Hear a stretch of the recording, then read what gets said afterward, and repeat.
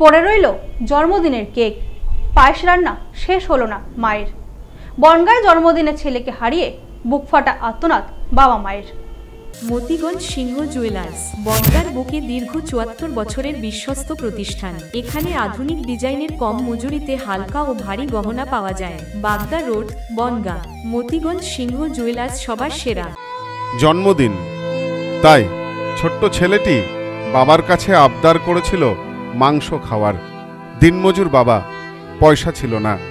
ছেলেকে বুঝিয়েছিলেন, রবিবার মাংস এনে দেবেন। এদিন ভাড়া খেটে কিছু পয়সা হয়েছিল, তাই দিয়ে ছেলের জন্মদিনের কেক কিনেছিলেন।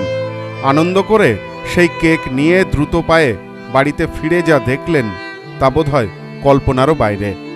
ছোট্ট ঘরে টিভি চলছে, দরজা বন্ধ, ঘরে ঝুলছে ছেলের দেহ।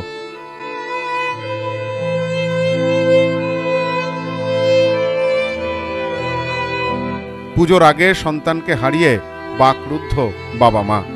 কথা বলার ভাষা হারিয়ে ফেলেছেন। মর্মান্তিক ঘটনাটি ঘটেছে উত্তর চব্বিশ পরগনার বনগা থানার অন্তর্গত সুন্দরপুর গ্রামে। ঘটনায় মৃত বছর এগারোর প্রীতম সরকার।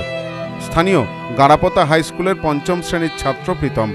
প্রীতমের বাবা প্রকাশ সরকার, পেশায় ভ্যান চালক। পাশাপাশি সংসার চালাতে যখন যেরকম কাজ পান, তখন সেরকমই কাজ করেন। ছেলের জন্মদিনের জন্য আনা কেক দুহাতে জড়িয়ে কাঁদতে কাঁদতে বাবা জানালেন, আজ ভাড়া খেটে কিছু পয়সা হয়েছিল, তাই দিয়ে কেক কিনেছি। বাড়ি ফিরে দেখি এই অবস্থা। আর কথা বলতে পারছিলেন না বাবা। তা আমার একটু কাজকর্ম করি কাজ করি, পয়সা পাইনি। তাই আমি কাল কটা ভাড়া কেটেলাম ভাড়া কেটে কটা পয়সা। তাই বললাম হচ্ছে কেক আর পায়েস করি আর রবিবার যখন কাজে চলে যাব তোর হাতে পয়সা দিয়ে যাব। তোরা মাংস খাচ্ছিস নি এই বলেছি হ্যাঁ হ্যাঁ।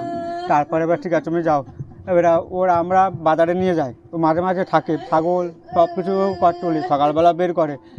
এবার সন্ধ্যেবেলা যখন বাড়ি থেকে গেলাম বাইরে তোমার যাও। ও টিভি দেখছিল কার্টুন দিকে টিভি দেখছি আবার ফোন নিয়ে গেছিলাম কেনাকাটা করে সঙ্গে সঙ্গে আট ঘণ্টার আগে চলে এসেছে। এসে বাড়ি দেখতে এই অবস্থা কান্না করে শুরু করে দিয়ে আমি কী হলো বলবা তো বলবা তো কিছু বলছে না। তারপর বলছে, ছেলে আর নেই, ছেলে আর নেই। তারপর আমি হঠাৎ করে একটু গাড়িতে করে চলে এসে দেখছি বাড়ি আর ছেলে আর নেই।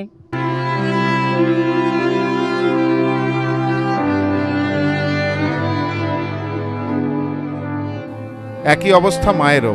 সমানে কেঁদে চলেছেন। আত্মীয়া এক গৃহবধূ মমতা হালদার জানালেন, প্রীতমকে ওর মা জানিয়েছিল, আজকে পয়সা নেই। পরদিন মাংস রান্না করে দেবে। পায়েস হবে। মা তো বলল তাই যে আমি বলেছি আজকে একটু পয়সা কম আছে কালকে এনে খাওয়াবো মানে আজকে এনে খাওয়াবো আর কালকে ওই পায়েসটা আর কেকটা ওরা খাওয়াবে। হত্যা করল কেন? ওই দুঃখ থেকে? সেইটাই আমরা বলতে পারছি না। স্থানীয়রা জানাচ্ছেন সেভাবে রাগারাগি বা অশান্তির মতো কোনো ঘটনা ঘটেনি। তাহলে কি খেলার ছলেই ঘটে গেল দুর্ঘটনা? যদিও এ প্রশ্নের উত্তর মেলেনি। প্রতিবেশী সুদীপ্ত বিশ্বাস জানান জন্মদিন ছিল। ছেলে চেয়েছিল দু একজনকে বলে অনুষ্ঠান করতে। খেলার ছলে দুর্ঘটনা ঘটে গিয়ে থাকতে পারে। এবার জন্মদিন থাকা গেলে হয়তো চেয়েছিল একটু অনুষ্ঠান অনুষ্ঠান করতে বা দু চারজনকে বলতে। অর্থাৎ পয়সার সমর্থনে হয়তো বলতে পারিনি। কি জন্মদিন কে কারণে হয়তো সমস্যা হতে পারে একটা ঝামেলা হতে পারে। যেহেতু পয়সা করেই নেই আনতে পারিনি। এবার পরে জন্মদিনের কেকটা আনতে গেছে। এবার ও হয়তো চেয়েছে যখন নিয়ে এসছে তখন? তখন আর নেই। এবার নিয়ে এসে দেখছে যে ঘরে টিভি চলছে, দরজা দেয়া। এবার দরজা যখন হচ্ছে ধাক্কা মেরে খুলে দেখে ছেলেটা ঝুলছে। টিভিতে কার্টুন চলছে। এবার জন্মদিনের কোনো অত মন খারাপের জন্য, দুঃখের জন্য ওটা হতে পারে। আর তা না হলে কার্টুন দেখতে দেখতে খেলার ছেলে হতে পারে। তো গামছা, গামছাটা দিয়ে ইয়ে করেছে ফার্স্টটা দিয়েছে, ফাঁসিটা লাগায়নি। গামছাটা গোল করে বেঁধেছে। দিয়ে ওর ভিতরে মাথাটা ঢুকিয়ে দিয়েছে। দেবী দশভূজার আগমনের প্রাককালে সন্তানের জন্মদিনের দিন সন্তান হারা হলেন এক মা। ঘটনায় শোকের ছায়া এলাকা জুড়ে। Bureau report, news no man's land Bangaon. বাঙালির সেরা উৎসব দুর্গাপুজো, একেবারে দোরগোড়ায়। তাই তো সেজে উঠেছে আদি মোহিনী মোহন কাঞ্জিলাল। নতুন নতুন কালেকশনে সাজাবো গোটা পরিবারকে। আর তাই তো সেজে উঠেছে আমাদের বনগা শাখা। শিমুলতলার মোড়, যশোর রোড, আদি মোহিনী মোহন কাঞ্জিলাল। সবার পায়ে সবার পছন্দের উন্নত গুণমানের জুতো প্রস্তুতকারী সংস্থা সুনীতি ফুটওয়্যার। ডিস্ট্রিবিউটারশিপের জন্য যোগাযোগ করুন eight six one seven double eight three four nine three, office Bangaon, Uttar Chabbish Parganas, Paschimbanga.